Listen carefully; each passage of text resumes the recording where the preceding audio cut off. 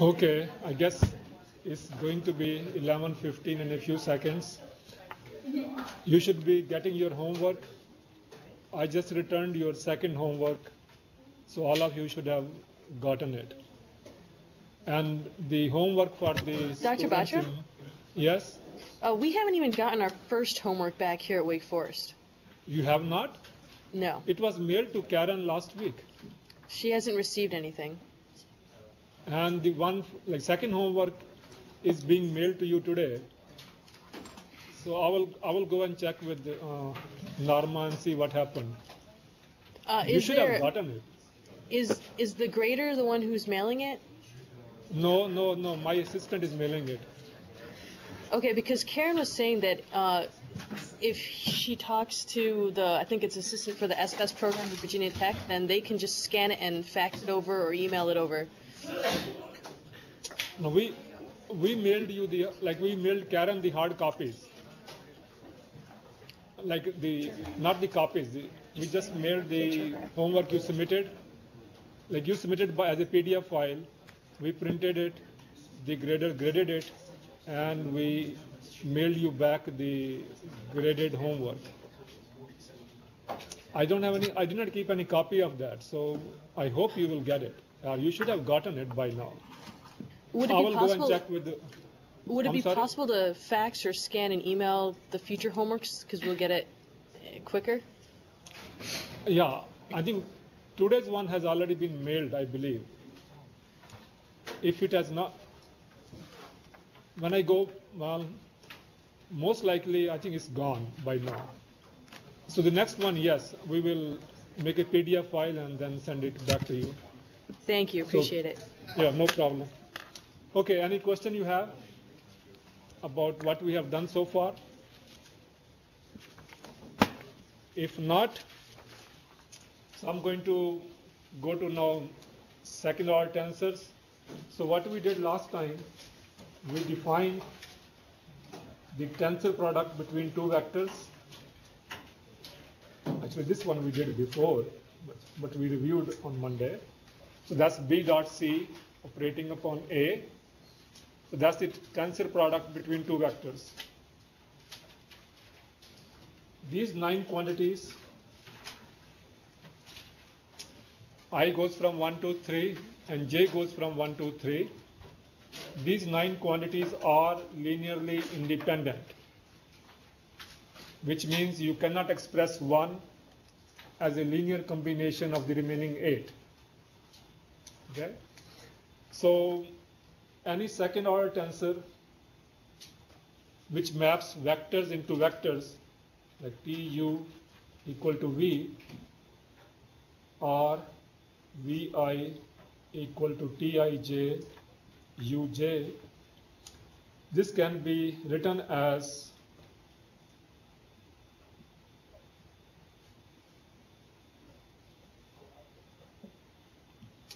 So this representation is similar to writing U equal to Ui Ei.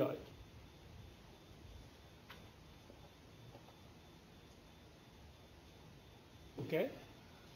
Now the question comes, say this T maps vectors into vectors, so what will happen when T operates upon E, Ek, the unit vector Ek? So that should be then Tij Ei tensor product Ej operating upon Ek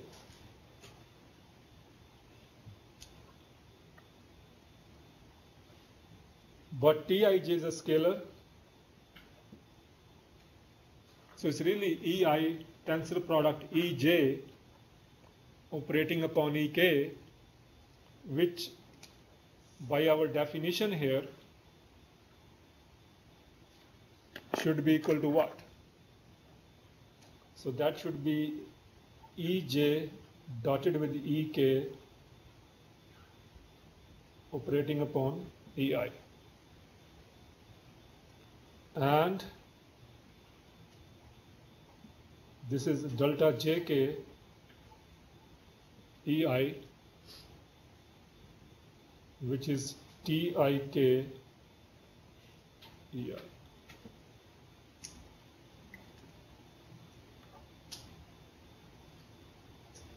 Because J and J is summed. So this J and J is summed. So the, the effect is to replace 1J by K.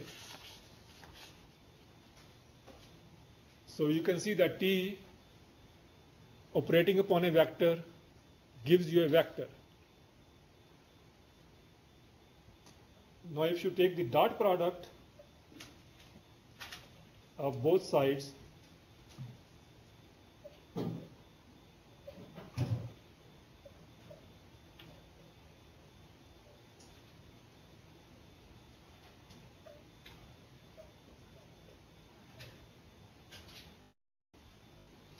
it's not a good choice maybe because so let's put a J here.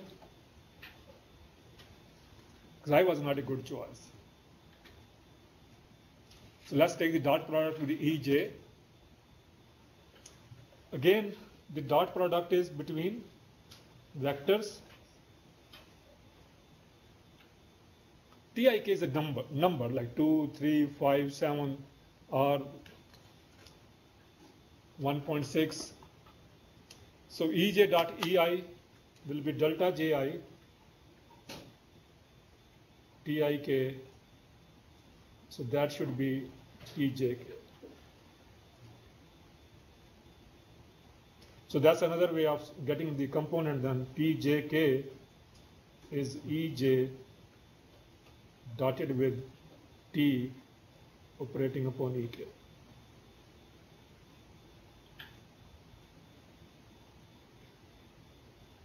So this thing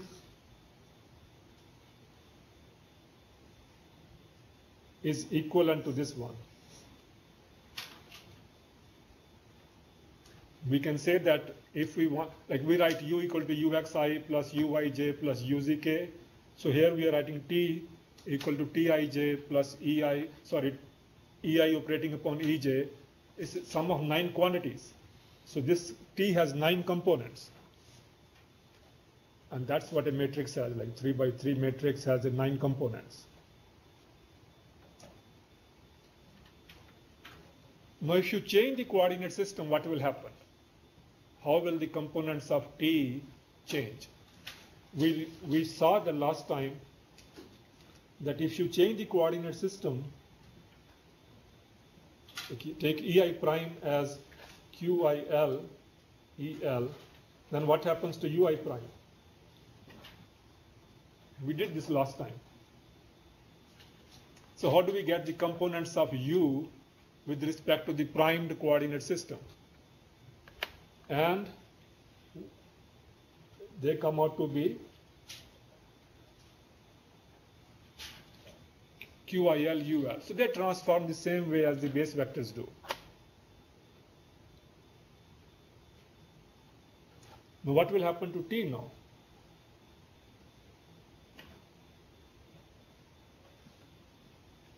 What will be T prime ij?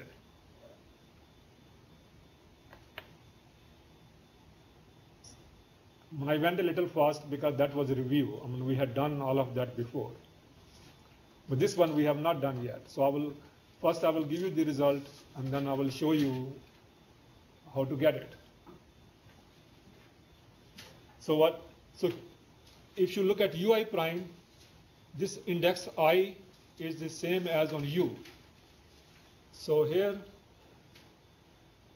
first there are two indices, so there will be two q's. I will prove it. So don't don't take it as a Bible, but I will like I will prove this one. Yeah. There are many things, other things we may not be able to prove, but this one we can prove. Okay, so take each index on T prime and put it on a Q.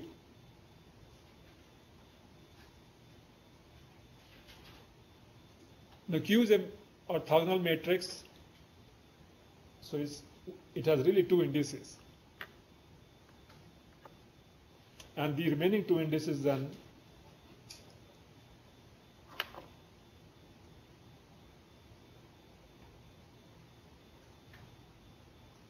So that's the transformation law for, for T. Now, those of you who have taken mechanics of materials, you probably drew Mohr circle to find principal strains or principal stresses. That Mohr circle is nothing more and nothing less than this equation. We will, we will see that maybe after, I don't know, six weeks or so. Yes. Can you explain what's going on with? Yeah, um, I just, I don't, is that a mistake that you had up there? Which one? Oh, this one? This Yeah, one? Yeah. Yeah, yeah, yeah, yeah. This is nothing. Sorry, I can't erase it because I don't have any white, uh, I don't have any other pen that I can erase it. So that was a mistake, yes.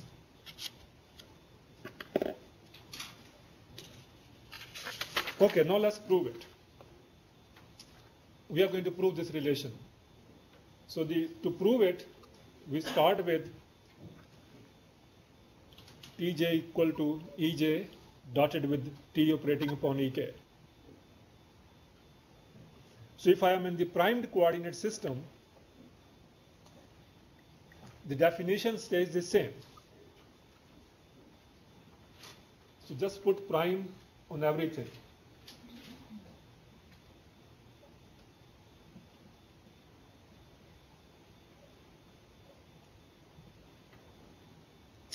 if we are in the primed coordinate system, put prime on e's and prime on the components of t. Does it make sense? I mean, same thing if you will write u prime, you will say u prime, you will say u equal to u i e i or uj prime ej prime.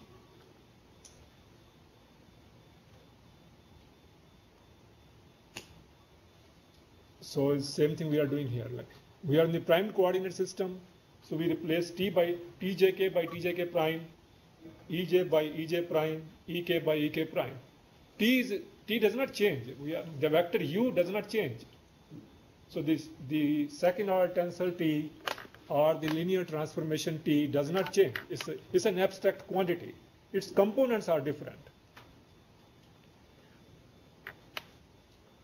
The vector u does not change. Its components change when you change the coordinate system. The components of a vector are different with respect to different coordinate systems. The vector is same.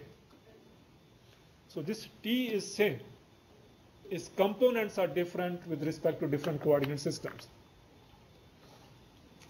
Okay, now, so let's substitute for then Ej, this Ej prime, so that's Qj L EL.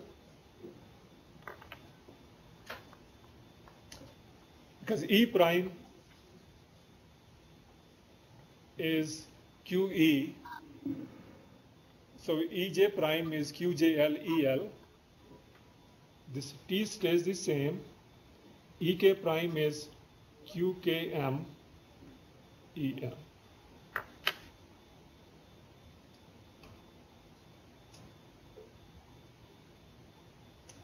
This is Ej prime. This one is Ek prime. And all we are doing is following this.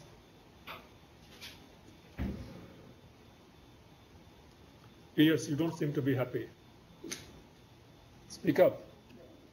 I just, I, I thought you said you wrote QKM and you wrote, or you said QKM and you wrote QLM. Which is it? Oh, that was just to show you that U, whether you write UI, EI, or UJ, EJ is the same thing. You mean you are talking about this equation? No, when you wrote the last line that's on the page, Oh, sorry, you wrote sorry. T Q. You said K instead of L. Yeah. I wrote it wrong. Yeah, thank you. So it's good I read your mind. I read, I read your face, not mine, sorry. I read your face. Okay, you are right. Yeah, I, I did not So my mind, my brain, and my handwriting did not match. Okay, now QJL and QKM, these are numbers. These are not vectors. So I can write this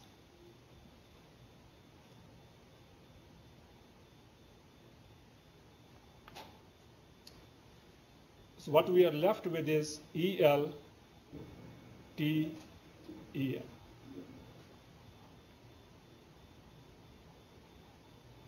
Now it may seem kind of magic to you, but it's really all we are doing is math. We are not really pulling anything out of a hat. So what is this thing now?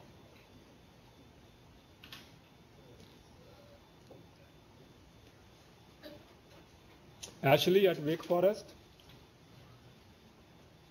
Melissa, Wu. Are you are you with me? I guess not. We're here. Anyone at Wake Forest? Are you getting the are you getting the sound? Yeah, we can hear you. Oh, okay. So what will be this quantity in the box?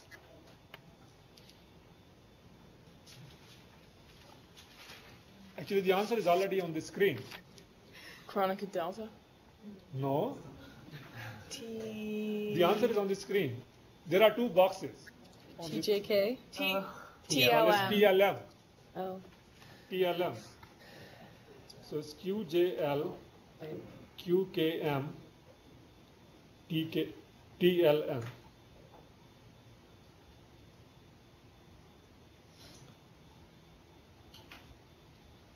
And that's what I wrote when I said the transformation law is this one. So T prime, like T, T prime ij is QIL, QJM, PLM. So the rule is, and if you wish to remember, we are writing primed in terms of unprimed.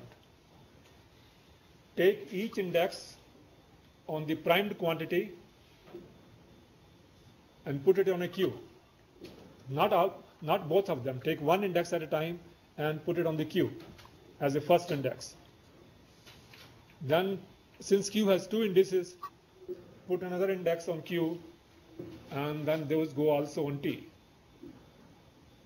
So if I am in a three-dimensional space, sorry, if I have a third-order tensor, a third-order tensor will have three components, or three indices on it. So it will map a vector into a tensor, like in second-order matrix, or it will map a second-order matrix into a vector. So if we wish to transform this,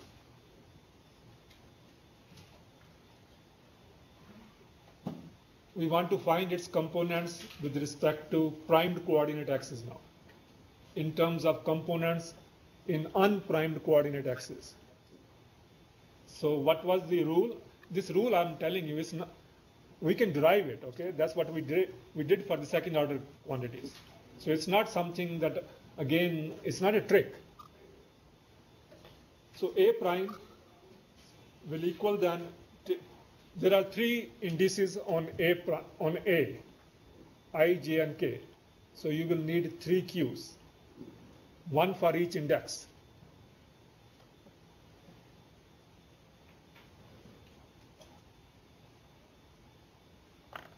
And that is the first index on Q.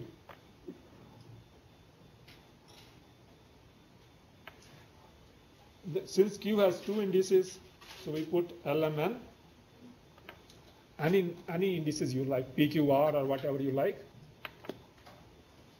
And then this is A, L, M.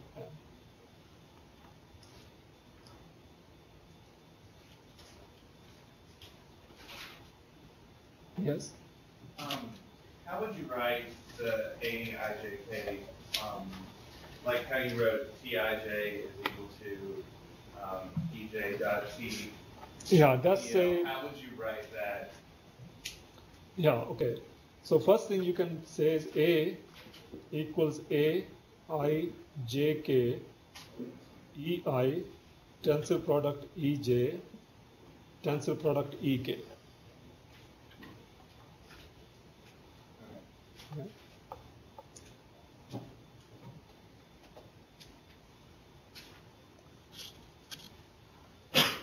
And with this one, it's easier to um, derive this priming, the relationship between primed and unprimed components. Now, if you have a fourth order one, that's what the homework problem is. The, the homework problem says find E prime 1, 1, 1, 1 in terms of the unprimed quantities. Okay. So the now let's see what we will get then. Say E prime. Now I have a fourth order one. And the reason we need fourth order one is that will relate stresses to strains. When we go to the stress strain law, strain is a 3 by 3 matrix, stress is a 3 by 3 matrix. So you can think of strain as 9 components, stress as 9 components. The matrix that relates them is a 9 by 9 matrix. So it has 81 components. E, I, J, K, L has 81 components. I goes from 1 to 3. J, K, and L go from 1 to 3. So therefore, this has 3 raised to the power 4, 81 components. So if, if we want to find unprimed, uh, sorry, primed in terms of unprimed, since it has 4 free indices, so you need 4 Qs. So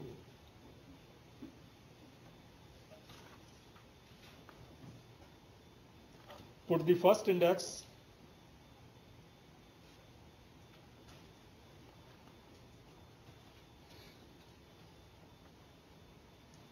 Now Q has two indices, so you can say P, Q, or S. E, P, Q, or S. Now, this multiplica multiplication will take some time because on the right hand side, P is summed, Q is summed, R is summed, and S is summed. So it is a sum of long, long, it's a sum over four indices. So you really have to work on it and get the sum right. That's why it says write C for cosine theta and S for sine theta. So you don't have to keep on writing sines and cosines. You probably will get cosine to the power 4, sine to the power 4, cosine squares, sine squares in the expression. Since the expression is long, also you cannot use MATLAB so easily. You have to, more or less, you have to do by hand. Okay? That's why the exercise says only find one, one, one, one component. It does not say find all 81 components. Because if it did, you and I will be here for the whole semester finding those 81 components. There's an easy way to do it. Okay, but no. So it's, and the answer is in many books. So it's not something that we do every time we need it. There's an easier way to do it. We can use MATLAB, but I'm not. I cannot show you right away how to do it. Okay, so now I guess that basically tells you how to do the first problem. It doesn't give you the answer, but it tells you how to do it. So let's go back to our familiar second order tensor, which has two indices. Because that comes more often in mechanics, like principal moments of inertia. That's also a second order tensor. Besides stress and strain, principal moments of inertia, if you are doing rigid body mechanics, that's a second order tensor. So we noticed that B trans B tensor product A is not the same thing as A tensor product B. The tensor products between vectors A and B do not commute. By, by commute, I mean A dot B is same as B dot A. A tensor product, A cross product B is not same as B cross product A. Unless B happens to be A, and that's of course always true. Here also, if B is A, then um, it will commute, but we are talking about different vectors. So, what is non-transpose of T? Of course, we know to get the transpose, you interchange indices, you interchange rows and columns. But what if I want to define now in terms of quantities without using indices? So without using indices, then the transpose of T is defined as this. A T operating upon B is B dotted with T transpose A. And this should hold for every A and B. For every A.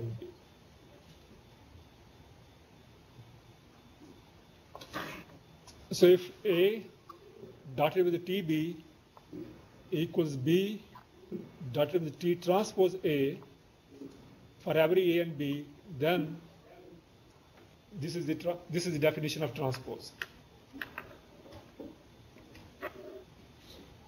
And one can show that this transpose is basically obtained by interchanging rows and columns. So if T equal to T transpose, which means if you interchange rows and columns and you get the same matrix back, then T is symmetric.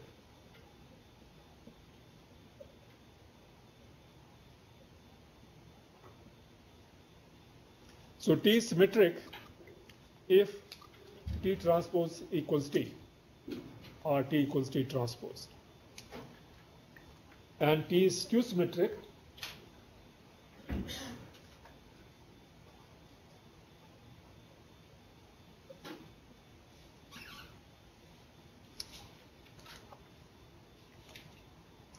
Can you give, well, first let me define. T is skew symmetric if T transpose equals minus T.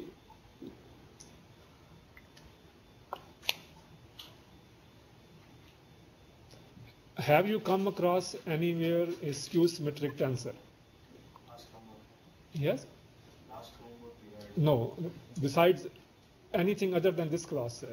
Last homework, when I asked you, yes, does. Anything other than this class, have you come across a skew symmetric tensor? Spin tensor in fluids. Spin tensor in fluids. Vorticity.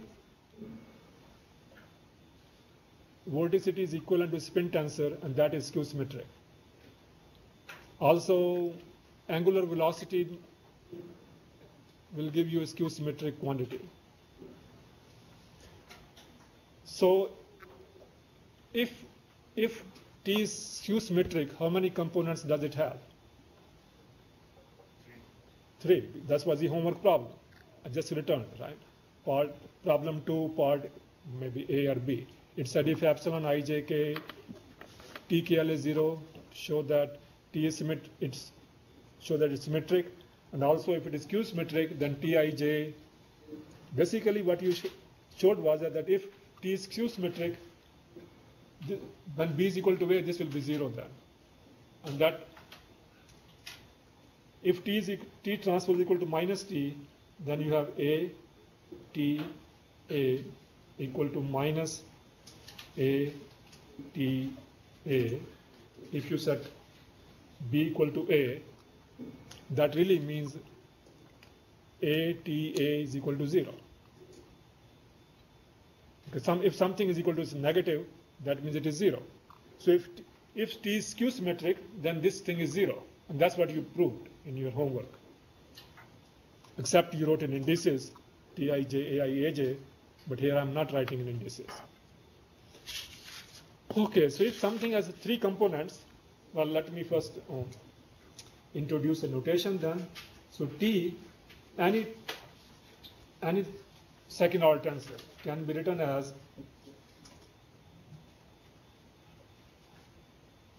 I mean, it's no big deal because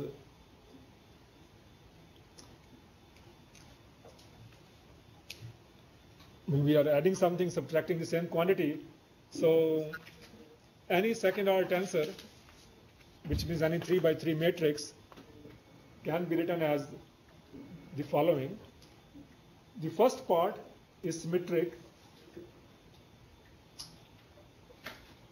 and the second part is skew symmetric.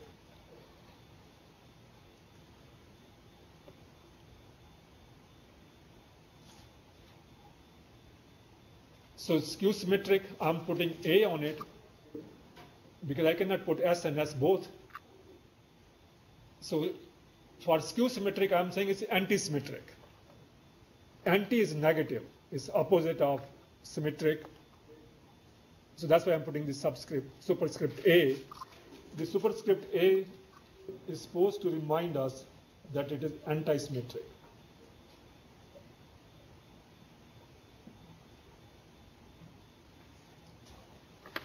So anti is the negative, so it's not symmetric. So symmetric component then TS, how many components does TS have? How many in linearly independent? Every 3 by 3 matrix has 9 components, okay? But linearly independent, which means they are independent of each other. One cannot be expressed as a linear combination of the remaining ones. 6. And what about T, sub, T superscript A? 3. Because the diagonal components are 0 of an antisymmetric matrix. And the off-diagonal components are negative of each other. So this one has 6 components, this one has 3 components, and then T has 9 components, which makes sense. So we are writing the 9 components of T of any 3 by 3 matrix we are decomposing it, we are having additive decomposition into something that has six, six linearly independent components and something that has three linearly independent components. If something has a three linearly independent components, we call it a which quantity has three linearly independent components? Yes, yes, vector. The other name for a quantity that has three linearly independent components is a vector.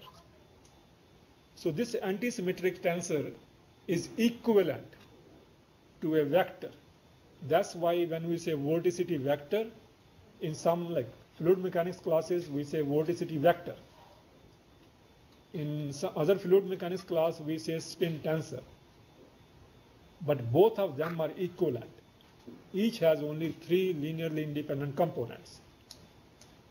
So the vector equivalent to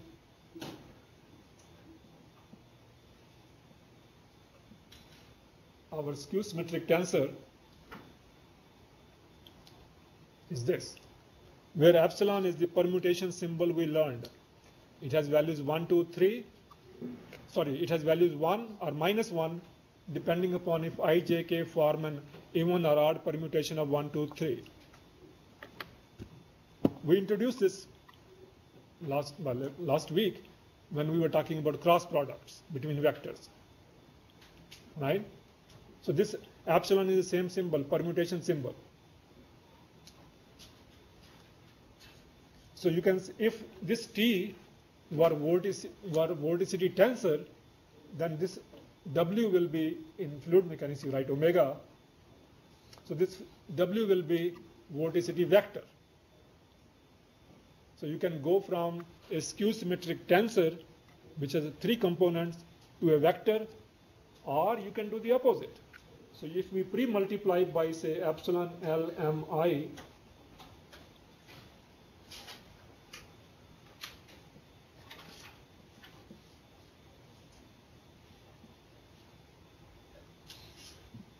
so if we pre-multiply by is epsilon L M I,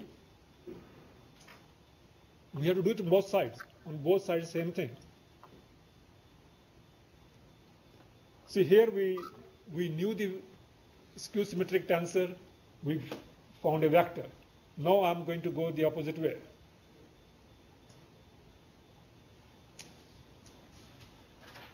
We learned that if we do the even permutation, LMI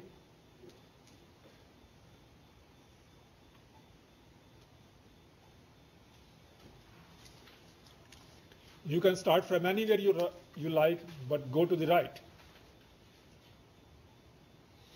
Nothing changes. So I can write LMI as ILM.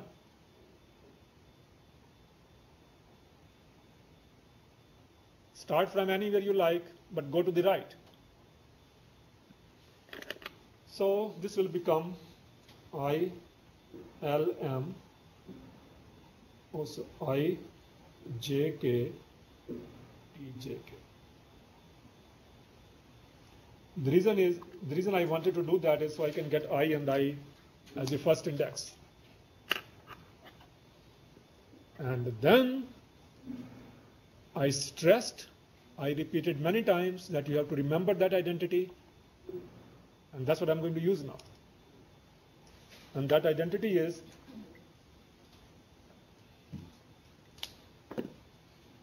so this one half i and i is summed so it's delta l j delta m k take the first index on each epsilon and put on a delta then take the second index on each epsilon which is not sum.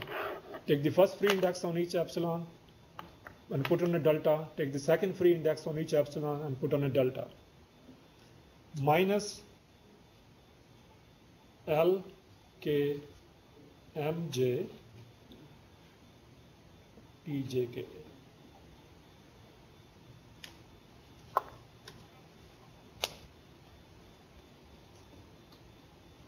So that is, now remember, epsilon ILM, epsilon IJK equal to this quantity in the red parenthesis.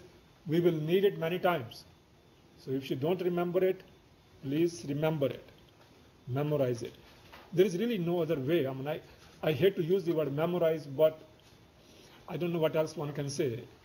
Like if you don't, so 3 times 4 of course is 12. Uh, you can write 3, 3, 3, 4 times and add. So you either need to know how to add or you need to remember what is 3 times 4. But in this case, sorry, uh, if you know how to add will not help. So basically you have to remember. And there is nothing I can say except try putting indice, values to indices and that will take us forever. Okay, now let's simplify it. So we have one half Lj Tjk. So what will happen? This j and j is summed. So that will means this will be replaced by L. K and K is summed. So that will be replaced by M. This is now scalar multiplication. Minus K and K is summed and J and J is summed. So this is MLA.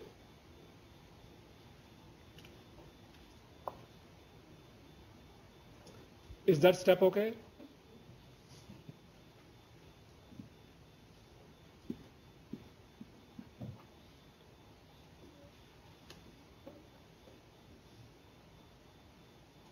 Ganesh? Ganesh? Is this is this okay? I guess you did not You worked too hard last night. Okay, now T is skew symmetric by assumption. It's anti-symmetric. So what will happen if I interchange M and L? The sign will change. So this thing is same as then TLMA. Now go backward, TLMA equals that quantity then. So TLM equals this. So you can go back and forth. So if you know the skew symmetric tensor, you can find the equivalent vector. And if you know the vector, you can find a skew symmetric tensor. Now for every vector, for every vector, you can find a skew symmetric tensor. For every skew symmetric tensor, you can find a vector. Because this relation basically goes back and forth. And that's why sometimes you call vorticity vector and sometimes you call it spin tensor, but they are the same thing. Okay? Now, we do this decomposition into symmetric and skew, skew symmetric parts, not for fun, but we have reasons behind it, of course. And so what about this? How will I write my symmetric tensor now in terms of, say, components? I think that's what um, one of you asked me earlier. If we have a third order tensor, how will we write in terms of components? So what, what are the bases? What are the bases for a symmetric tensor and what are the bases for a skew symmetric tensor? So TS, we will write it as T ij and the bases are EI tensor product EJ plus EJ tensor product EI over 2.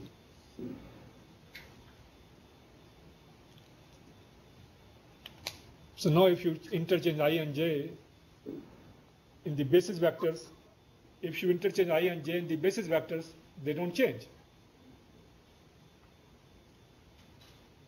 So instead of getting nine of them, you get six of them. Right? EI tensor product EJ plus EJ tensor product EI over 2. So you don't get nine independent ones now. I and J go from 1 to 3. But you get only 6 of them independent. Because if I is 1 and J is 2, you will get E, E1 tensor product E2 plus E2 tensor product E1 over 2. And then second time you say I will take I equal to 2, J equal to 1, you will get the same thing back. So what about then T sub A?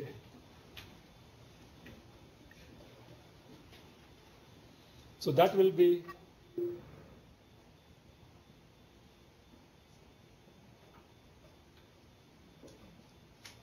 minus Ej tensor product Ei over 2.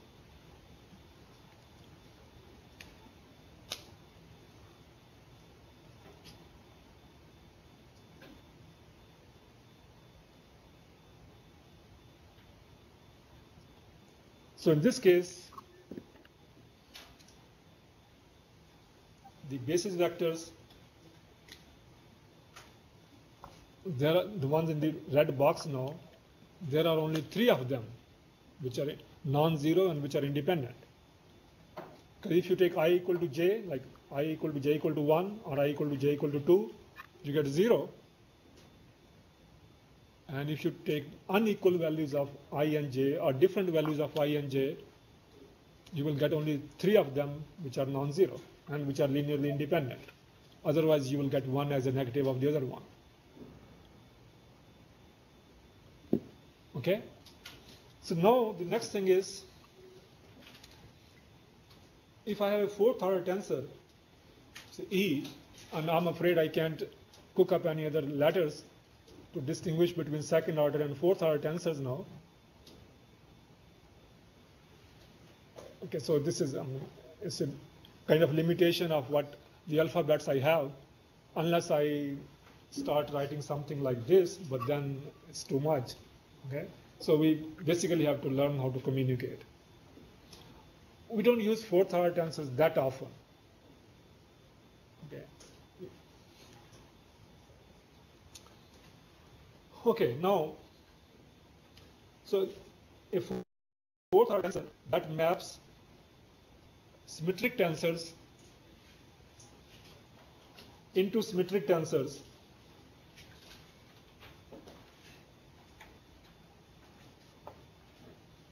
a fourth order tensor that maps symmetric tensors into symmetric tensors is called a symmetric fourth order tensor. A fourth order tensor that maps symmetric tensors, symmetric second order tensors into symmetric second order tensors is called a symmetric fourth order tensor, is a symmetric fourth order tensor. So if you write in terms of components now, so we will have Aijs equal to Eij KL T KL S.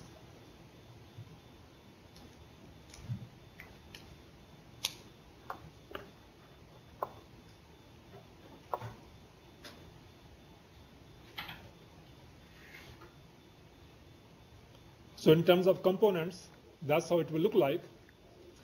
So if, if A is symmetric, that means I can interchange I and J. Right? If A is symmetric, that means Aij is same as Aji, which will, which will require that Eij should be same as an Eji.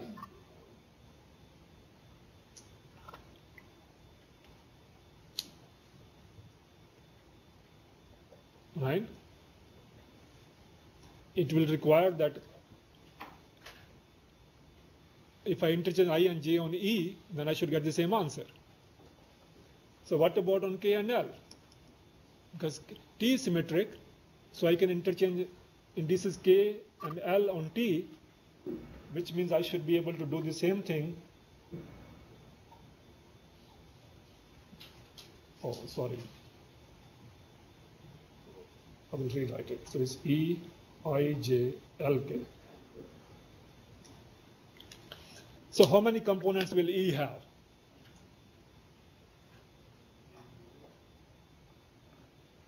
How many components will E have? Okay, how many components does TS have? This TS have? How many linearly independent components does TS have? Six, we just talked about, right? How many, how many linearly independent components does AS have? Six. So if you write six, a matrix as a column matrix, so this has this is a column matrix of six entries. This is a column matrix of six entries. So what are the then I can write E as a 6 by 6 matrix. So 36 components. Okay? Now, if I were to write this thing in the matrix form, I would have said AS equals E TS. Right? And this will be 6 by 1. This is 6 by 1. So if I am, if this matrix multiplication has to make any sense, then this must be 6 by 6.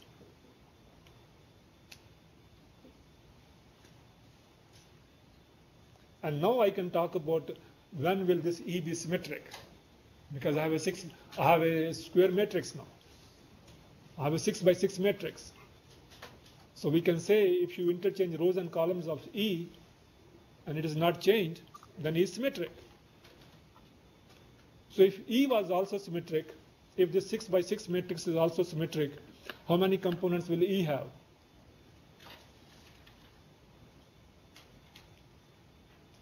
Is my question making sense? Okay, let's go back. If I take a second order tensor T which is not symmetric, not antisymmetric, how many components does it have? 9. And if it is symmetric, 6. Only the, the components above the diagonal or below the diagonal. Now take this 6 by 6 matrix. So take this 6 by 6 matrix. It is symmetric. So how many linearly independent components will it have? 24? Not quite. Close. But not quite. No, lower. 21. Is 6 into 6 plus 1 over 2. So there is no, I mean, it's not magic. I mean, or you can say you are adding 6, 5, 4, 3, 2, and 1. So entries on the main diagonal are 6. In the next sub diagonal are 5, and then 4, and then 3, and then 2, and then 1. So it is 6 into 6 plus 1 over 2. 21. And those of you who are, who are in composites, there are 21 elastic constants for a general linear elastic material. I think I'm already one minute over my time. Thanks. So I will see you on next time we will start mechanics. Okay, we will talk about deformation of bodies.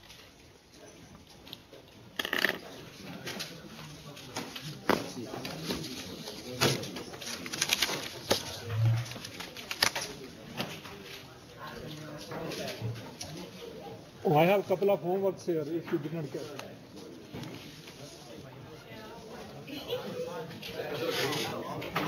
This homework problem, um, is it two parts, like prove that and then do this? Yeah.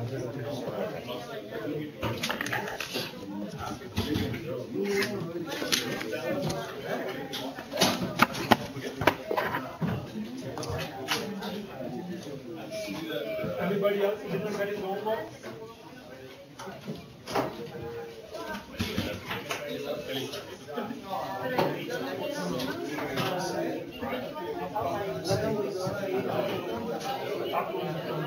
Up